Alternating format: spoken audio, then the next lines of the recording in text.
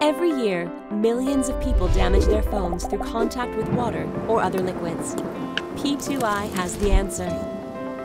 P2i's nano coatings offer invisible protection against liquid damage. Our patented range of applications provide protection levels spanning from exposure to high humidity or rain, to accidental splashes and spills, and even the occasional drop in the sink.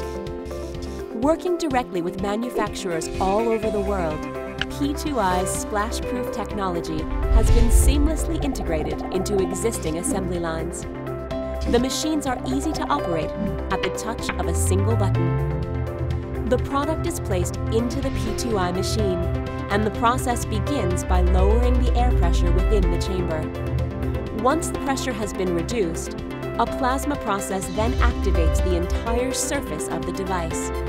With the surface now activated, the monomer is introduced as a vapor which permeates every feature of the device coating the whole phone, both inside and out.